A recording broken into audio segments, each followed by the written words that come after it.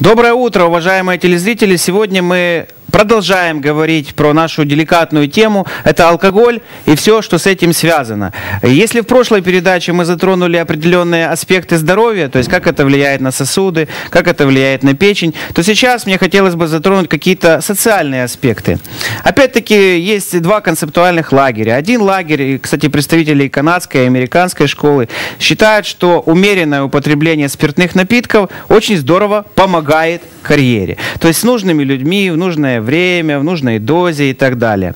Они говорят, это патиться, патиться в нужных местах. Они там заводят определенные социальные связи, легче продвигаются по карьере.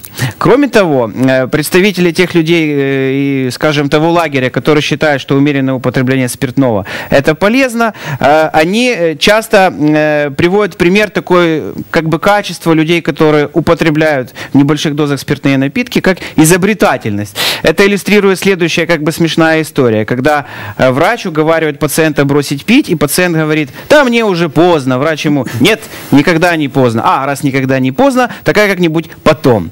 Вот. Э, э, как и в прошлый раз, у нас в студии Александр Иванович Невзгода. Еще раз здравствуйте, Александр. Доброго ранку. Вот такие социальные аспекты, которые я затронул. Естественно, я нарисовал только плюс. Естественно, есть какой-то жирный минус. Не призываю вас рисовать ни плюс, ни минус, а просто сказать свою объективную точку зрения. Помогает карьере употребление алкоголя, либо вредит? Ну, мені важко, як і кожній людині, сказати чисто об'єктивну точку зору. Вона, мабуть, буде без сумніву суб'єктивною, але хочу сказати, що в нашій державі констатована кількість людей, які зловживають алкоголем, це 800 тисяч осіб. А реальна цифра це, це треба помножити на 8. Соціальні аспекти є надзвичайно складні, надзвичайно серйозні. Ми можемо говорити, що е, алкоголіки це і люди, які є схиль, у яких є е, схильність до е, проблем в сімейних стосунках. І е, якщо говорити чисто в кар'єрному плані, в кар'єрному рості, ми можемо згадати, що в компаніях побутує думка, що людина, яка не п'є, вона є підозріла, вона від якої треба ховатися певним чином.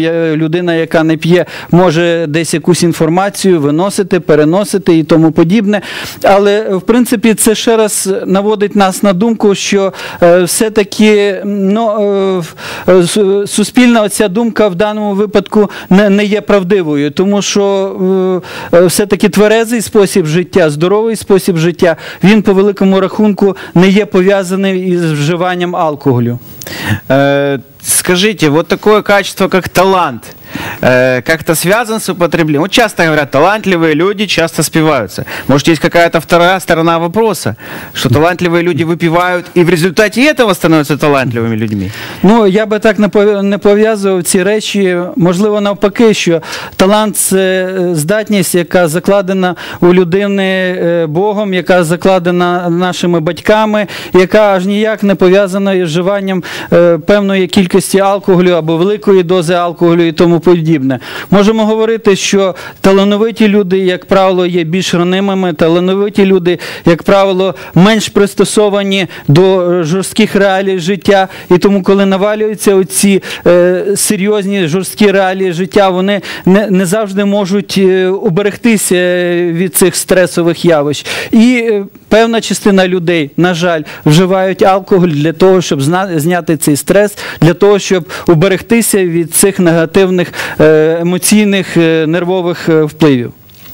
Александр, спонсор нашего показу препарат Медихронал. Медихронал похмелье як рукой знімає, життєву радість повертає. У меня в связи с этим такой вопрос. Часто люди говорят, у меня наступает озарение, особенно творческих профессий, после злоупотребления спиртними напитками. Возможно это или это они фантазирують? Я думаю, що десь трошки фантазують. Ми пам'ятаємо ще зі шкільної лави, що Ньютону яблуко впало на голову і він зробив певні відкриття. Ну, можливо, від певної дози алкоголю в когось і прийшло це відкриття. Ну, наразі я не знаю таких людей.